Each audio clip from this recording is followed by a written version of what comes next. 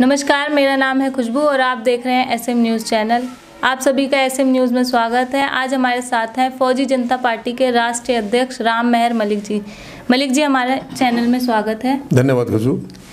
मलिक जी आप हमेशा संविधान बाबा साहब की बात करते रहते हैं। हमारे देश की शासन प्रणाली संवैधानिक तौर पर कार्य कर रही है या नहीं? ये आप बताएँ खुशबू बहुत ही ज्वलन आपने मुद्दा उठाया है। ये मुझे दुख हो रहा है और मुझे बताने में कोई इसमें ज़रा सी भी झिझक नहीं होगी कि संविधान तो बहुत मज़बूत है हमारा। इसमें कोई दो राय नहीं है, क्योंकि वो बाबा साहब का लिखा हुआ है, वो उस हस्ती का लिखा हुआ है, उस इंसान का लिखा हुआ है, जो धरती के ऊपर।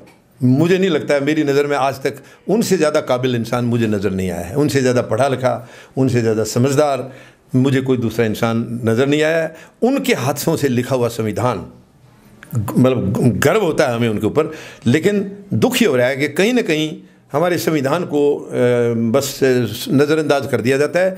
और जो शासन प्रणाली की आपने बात की है, खुशबू, देखिए, हमारा शासन नॉर्मली तकरीबन तकरीबन शासन प्रणाली जो ऊपर से चल रही है, उसके अंदर तीन चार एजेंसीज हैं।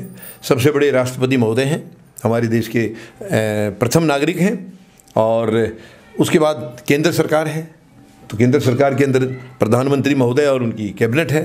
और एक बहुत ही महत्वपूर्ण जो है वो दूसरी संस्था है, वो है न्यायालय।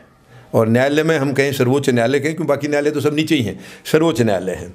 जिनके ऊपर देश के संविधान को बचाने की जिम्मेवारी है, देश को बचाने की जिम्मेवारी है, देश के सिस्टम को बचाने की इन्हीं तीनों के ऊपर जिम्मेवारी है।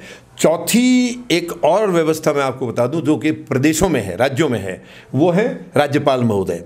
तो ये चार संवैधानिक पद हैं और चारों को बहुत ही निष्ठा से अपनी अपनी जगह काम करेंगे, तभी ये देश बच सकता है, तभी ये संविधान हमारा सुरक्षित रह सकता है। लेकिन इसमें खुशबू मुझे कुछ कमियाँ नज़र आ रही हैं, जो मैं आपको बताना चाहूँगा। सबसे पहले, जैसे कि राज्यपाल, अभी आपने एक हाल में एक घटना, वैसे तो कई घटनाक्रम हो गए हमारे यहाँ राज्यपाल महोदय के पद की गरिमा को कई बार ठेस पहुँचाई गई है। कई राज्यपालों ने पता नहीं वो अपनी उस गरिमा को बर्दा वो मतलब बचा नहीं पाए हैं। ऐसे कई का, कई केस हुए हैं, पुरा- पुराने में दोहराने की ज़रूरत नहीं है जनता को मालूम है सबको। कई हुए, अभी हाल में कुछ तो जैसे कर्नाटका और गोवा वगैरह में कई हुए थे, लेकिन अभी आपने अभी देखा होगा, पिछले एक महीने से महाराष्ट्र में एक बहुत बड़ा सरकार बनाने का ड्रामा चल रहा था, उसमें भी राज्यपाल के पद की गरिमा को ठेस पहुँचाई गई है। मैं, सीधे सीधे मैं ये नहीं कहना चाहूँगा, संवैधानिक पद है, मैं उनकी गरिमा को अपनी तरफ़ से ठेस नहीं पहुँचाना चाहूँगा, लेकिन पद की गरिमा पर आँच तो आई है। राज्यपाल महोदय को 22 नवंबर की रात को किस तरीके से जो मुख्यमंत्री, पिछले आउटगोइंग मुख्यमंत्री थे, उन्होंने जाकर सरकार बनाने का दावा किया है, उनके साथ एक समर्थक गए हैं जो चौवन आदमी का दावा कर रहे तो यहाँ राज्यपाल महोदय का एक दायित्व बनता था। कि वो चौवन आदमी की परेड करें, उस चौवन आदमी की वेरीफाई करें कि वो चौवन आदमी उनके साथ हैं कि नहीं। एक व्यक्ति जाकर के चौवन का नाम ले देता है कि चौवन आदमी मेरे साथ हैं, और जबकि उसी शाम को बाकी के तीनों पार्टी पूरा मेजोरिटी दिखा चुके थे अपना, वो अनाउंस कर चुके थे देश के सामने, बता चुके थे कि कल हम औपचारिक तौर पर घोषणा करेंगे सरकार बनाने की, और वो उद्धव ठाकरे को अपना नेता चुन चुके थे। औपचारिक घोषणा अगले दिन होनी थी। सब पता था राज्यपाल महोदय को ये पता था। तो कैसे उन्होंने इसके सरकार बनाने के दावे को मंजूर किया है? अ, मैं उनके पद के गरिमा के खिलाफ एक शब्द भी नहीं कहना चाहूँगा खुशबू लेकिन इस पद की गरिमा पर तो ठेस तो पहुँची है। इसमें कोई दो राय नहीं इसको कोई झुठला नहीं सकता। राज्यपाल महोदय महोदय को अपनी गरिमा के हिसाब से यहाँ फैसला करना चाहिए था। उनको कहना चाहिए था कि अगर तुम्हारे पास आंकड़े हैं तो कल मेरे पास आंकड़े पेश करिए। दिखाइए यहाँ। वो अपने तरीके से परेड करवाते या जो भी करवाते, ये उनको करना चाहिए था, जो कि नहीं किया गया। इसके साथ साथ तुरंत जो है राष्ट्रपति शासन हटाने का रातों रात वहाँ से प्रक्रिया शुरू कर दी गई है। अब माननीय राष्ट्रपति महोदय का आगे रोल आता है। मैं यहाँ, राष्ट्रपति देखिए, देश के प्रथम नागरिक हैं। बहुत ही सम्मानित पद है ये। बहुत ही सम्मानित पद है। मैं उस पद की गरिमा के खिलाफ भी एक शब्द नहीं कहूँगा गलत। लेकिन मेरे हिसाब से राष्ट्रपति महोदय को भी ये सवाल करना चाहिए था। अभी क्यों रात को आया है ये? ये जो राष्ट्रपति शासन तो कल दिन में भी हटाया जा सकता था। तो रातों रात हटाया गया। तो वहाँ मुझे भी लगता है, राष्ट्रपति महोदय के ने भी अपनी गरिमा पर कहीं ना कहीं मैं समझता हूँ ठेस पहुँचाई है कि उसको वेट ऐसी कौन सी, जो जो पिछले एक महीने से ज़्यादा हो गया था, बत्तीस, इकतीस दिन हो चुके थे तो एक दिन में और क्या फ़र्क पड़ रहा था? एक रात रात ऊपर से जाने के बाद अगले दिन में हो जाता।